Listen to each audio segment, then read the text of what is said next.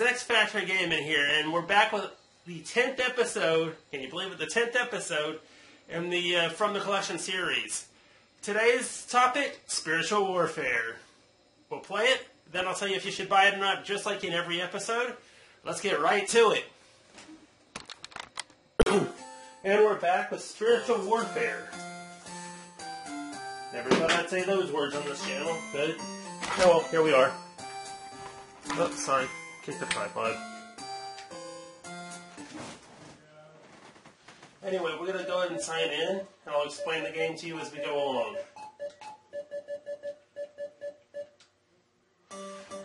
So we're starting here at the park. And, uh, we got all the, uh, what we got to do here first, I'm going to go pick up this vial of the wrath, vial of the wrath of God, which is actually what that's called. The pear is one of the fruits of the spirit that you can get to throw at people to convert them over. I'm kind of curious though. What happens if you set that there? Nothing. We're heading downward. Now the idea is to get the belt of truth in order to exit the park. I like the animation that occurs when you throw throw your fruit at somebody. Y'all see that? And when you and this this will sometimes happen where you can actually get more uh, more um more doves.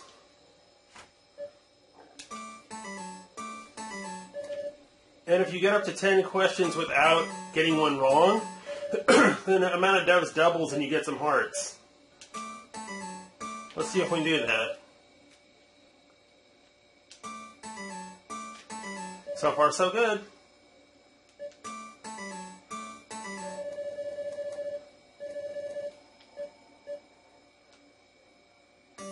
Okay, so we got all five right.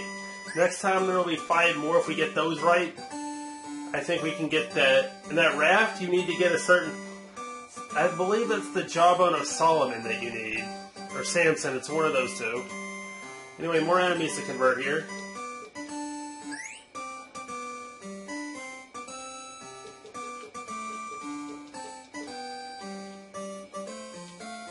A few more there.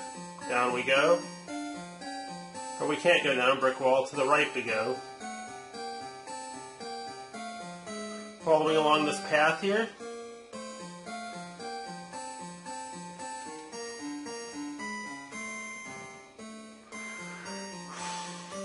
Let's see. I can zoom in just a little bit. That I'll cut off the screen. That'll work. anyway, we're moving along, and we find some more enemies here. use A to hurl your fruit at them. I mean, it kind of tells you what the controls are up there in the top of the corner. The vial of God's wrath is B, and the uh, fruit of the spirit, whatever you have, pears or apples, is A. As for the music, it's all Bible songs.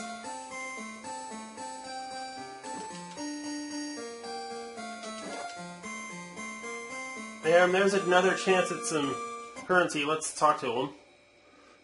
Creature to only every creature. So, question number six is where we are. If we can get up to question ten without missing a question, it'll double. It'll give us double the bonus. And you use A to lock in your answer.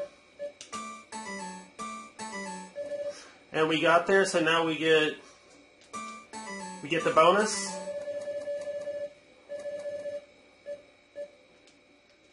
Then it'll take us back.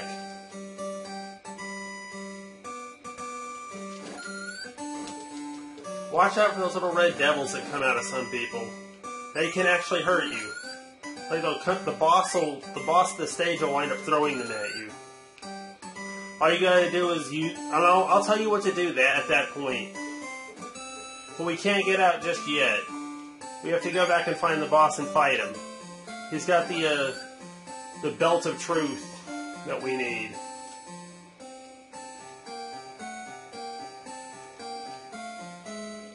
Go You know, the screen scrolling, I would have thought would have been a little janky, but it's not. You know, we find the boss by taking this staircase to the underground and then going straight down.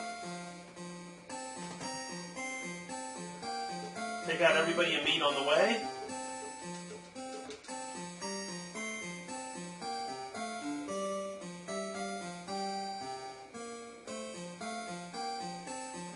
The uh, the anointing of the anointing oil. That'll restore health when you use it.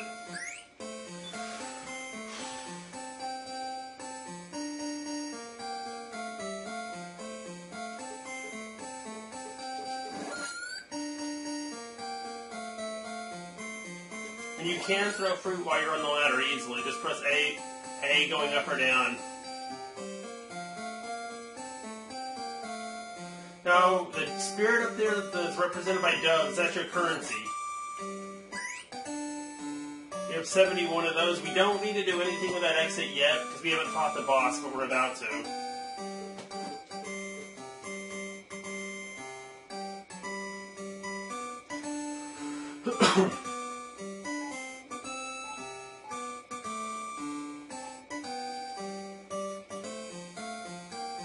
And here he is. Here's that boss.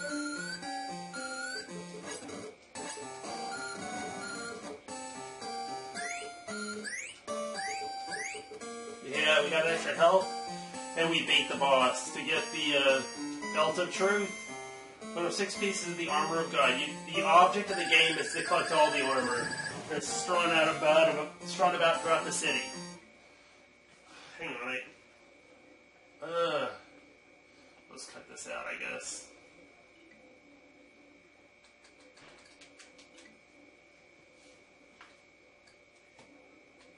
Yeah, I've got a lot of cutting to do, don't I? anyway, we're back now. We make our way out of the underground area.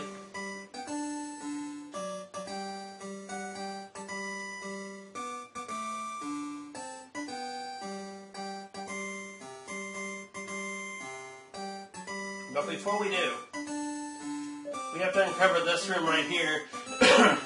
because we do have the currency to go get the apples, which are also fruit of the spirit.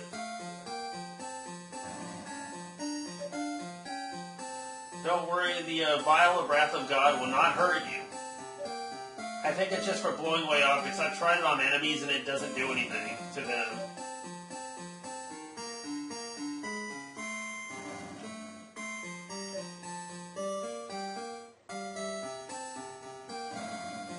There's the door, we go in it. There's an apple, it's going to cost 40 spirit, but we have enough spirit to go along, so we can do that. and then if you walk far enough to the left, you're going to find a ladder which you need to go up. This one right here. You can take either door, it doesn't really matter which one, they both lead out. But as for my thoughts on the music, I think it's actually of this game to have only Bible music here. I think the only real thing I have with this game thus far is the is it's it's really easy to kill an enemy, but it's hard for you to die. You have three hits while the enemy only has one.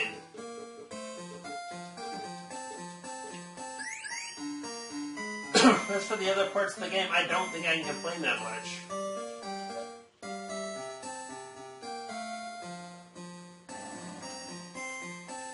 We're about to head out of the park, and we'll get about another minute of gameplay in here. I don't know why I did that.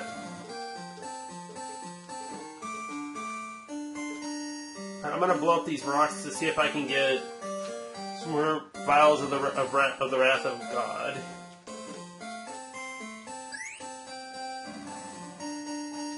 Not that I needed them, but okay. I guess it's always good to have some extras. You're always going to have some extra spirit, though, which is which is good. Good because the more you have, the more you can trade in towards new items. Speaking of items, this is your item select screen right here. What you can do, the like the praying hands will will do will restore health, half a heart. The anointing the anointing oil fills it right back up again. And the vial of God's wrath, drop vial with big, that actually explodes wherever you drop it. So you have different fruits of the Spirit. You have the pear, the pomegranate, the apple, the grapes of wrath, and the banana. We're going to actually switch over to the apple here if we can. Represents patience. The pear represents meekness. The pomegranate represents love. And you can use that command there the end the game, obviously, but we're not going to do that. I'm going to go a little bit further to show you what's beyond the park. And then we'll do the rest of the game in another level. Oh, cool, we do we actually do have the apples. It's the apples that are kind of weird. The pears will go in a straight line every time. Looks like the apples are kind of, the apples are what you need to figure out how to work with. At least you get as many apples as you can handle.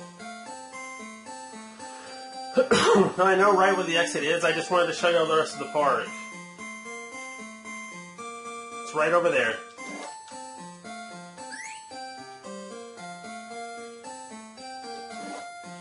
Right through the right through the uh, thing there. Yeah, I know. Push that rock out of the way and we're out. Now we're in the downtown area. I Yeah, two and one there. Nice. Now we're gonna go until we finally die because I want to get this video edited sometime tonight. I like the I like the apples though. I have to say. Sometimes they can hit. They can actually hit whoever's in your path, and we died. So that's actually going to end. that's going to end spiritual warfare. We'll be right back with my final take in just a sec. Now the question is, should you buy spiritual warfare? No, not really.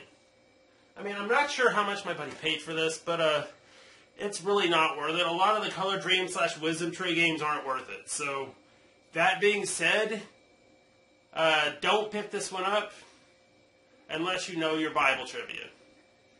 Or unless you grew up around the Bible and around church like I did.